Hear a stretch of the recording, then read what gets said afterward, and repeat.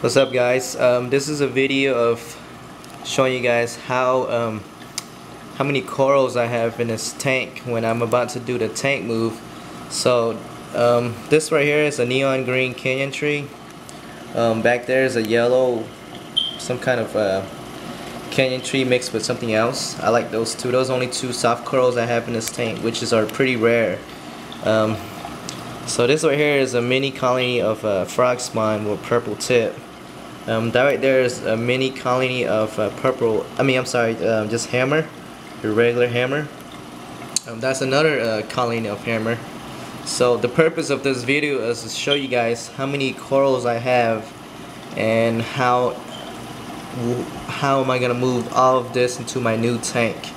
Um, remember the space in the tank is a lot smaller than this one so I'm gonna have to really work on how to um, how to get this all of this stuff to work together. So if you guys can help me, it would be great. Okay, um, this is a uh, mini colony of, uh, I have no idea what that is. I'm not really good with SPS name. Um, that's a blue Digitas, supposed to be blue. Um, that's a Green's bird's nest. Um, just mini colony of SPS. I don't do much SPS, so you guys can tell.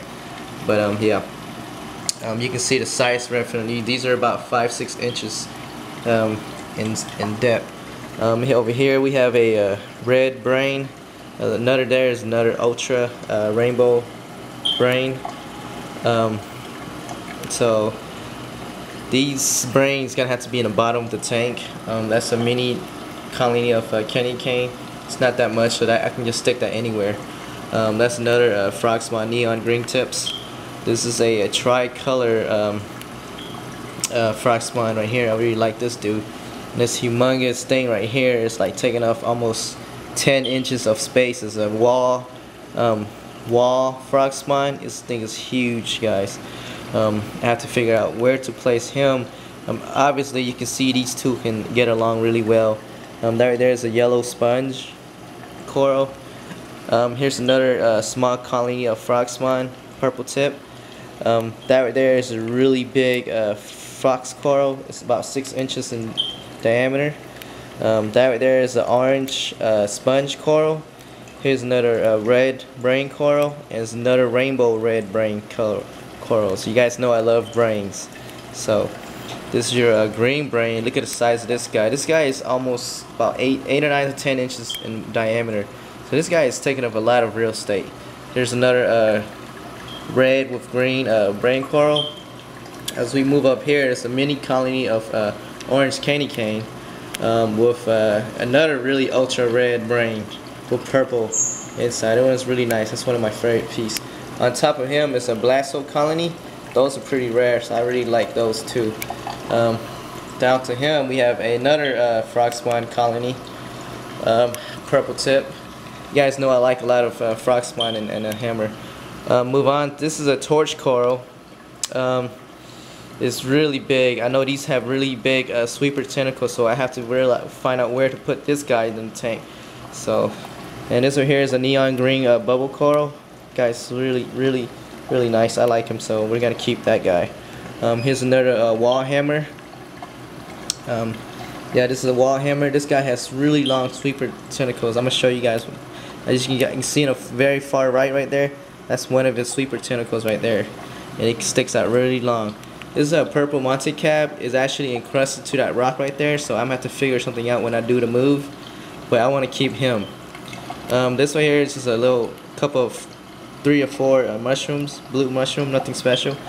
Um, this is an unknown SPS, but it's growing like crazy, so I want to keep this dude.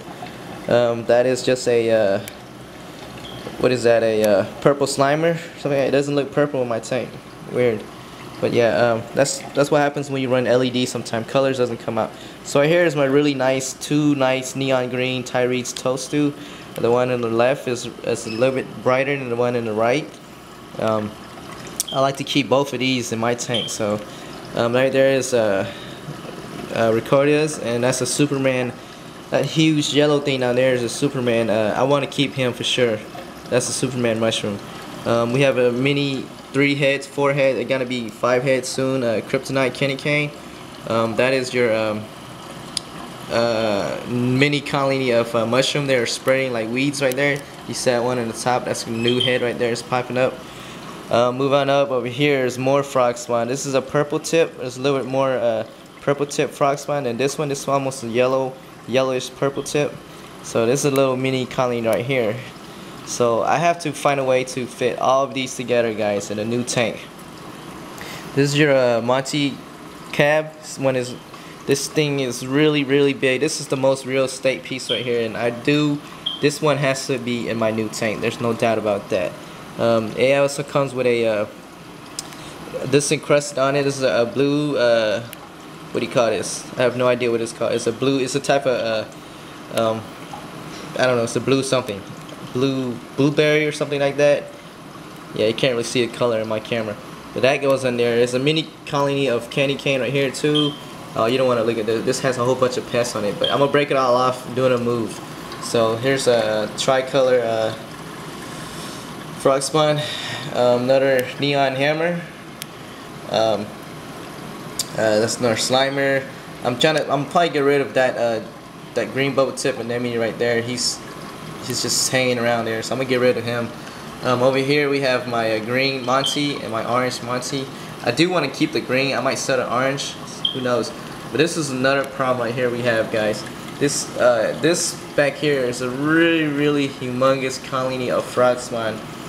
The real estate this guy take is as much, almost as much as the Monty Cap. But I really want to keep this guy. This guy is been here with the tank forever, and I want to keep him. So you guys kind of have an idea of what kind of corals is in here, and if you guys can, just oh, there's a couple more SPS down here like that one, and just a little stuff here and there. But the main one is the the frog spawn and the hammers and the Monties.